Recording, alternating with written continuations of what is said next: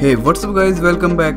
Last year after going through all the Note 7 drama Samsung halted the sales of the Galaxy Note 7. But now Samsung is relaunching the Galaxy Note 7 with a new name. Now it is called the Note Fan Edition. So there were many news and reports about this but today it went official in Korea. Samsung announced the Galaxy Note Fan Edition today and it will go on sales in Korea from 7th of July and it will cost us around $600 in Korea at least.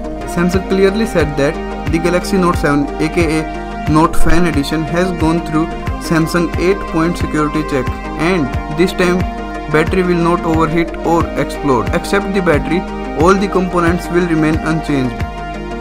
Snapdragon 820 with 4 gigs of RAM, 64 gigs of internal storage and the S Pen. Oh yeah, I forgot, the waterproofing is still present. Samsung didn't said anything about the availability in other markets but it is expected to launch in India and China later this week. So at $600 it's a great deal but I am not considering it as the Galaxy Note 8 is just around the corner. So what do you think about the Galaxy Note Fan Edition? Will you consider it? You should consider it. It's a great device but I personally will wait for the Galaxy Note 8 and probably get a Note 8. Subscribe to the channel if you are new here for latest tech videos which lands daily. Talk to you in the next one.